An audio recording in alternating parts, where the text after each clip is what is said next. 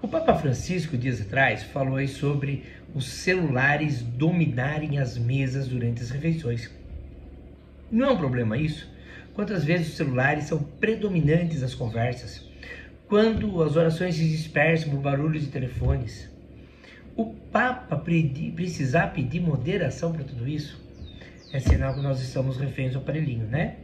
Então, retirem os celulares durante as refeições, durante as orações, durante os momentos de prazer de família e conversem uns com os outros, conforme o próprio Francisco nos diz. Até mais.